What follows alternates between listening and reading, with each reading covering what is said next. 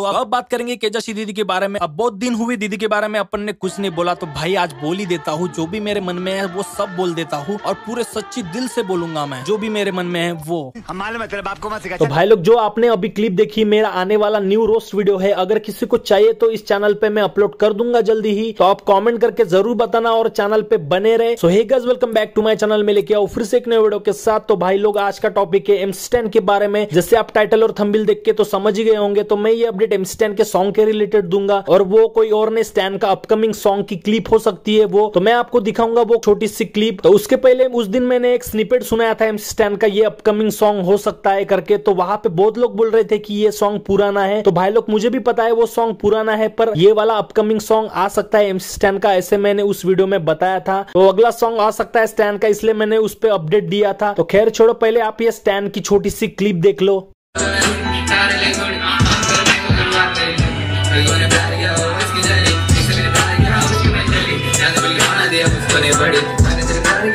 तो देख लिया, शायद सॉन्ग की शूटिंग की हो सकती है एमस्टैन की अपकमिंग सॉन्ग की शूटिंग या तो फिर कोई और, आप कमेंट करके बताना ये क्लिप कहाँ की है, और ये स्टैन यहाँ पे जो दिख रहा है, वो सॉन्ग की शूटिंग की क्लिप है, या कहीं और की क्लिप है। तो बस आज के लिए इतना ही, मिलते हैं नेक्स्ट वीडियो में, तब तक के लिए बाय